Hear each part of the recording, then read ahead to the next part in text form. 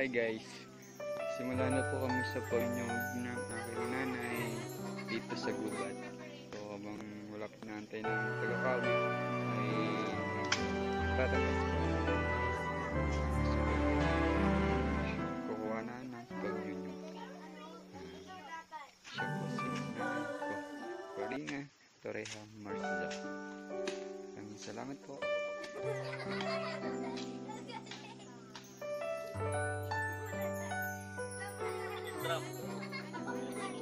Hi guys. Ito nga pala yung buhay na buhay ng nanay ko.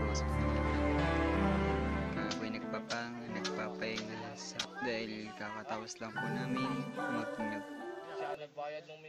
So, siya po ay nagkawa ng katapos ng palapa upang gawing walis tingting po.